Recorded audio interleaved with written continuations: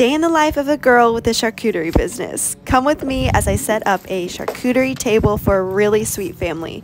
I cater all the way to their house, which is about 30 minutes of where I lived, pack all my stuff. I bring in my cooler, which keeps everything nice and cold, including the cheeses and meats. Um, fun fact I hate using those little things that stick in the cheese and meat and have like a little saying.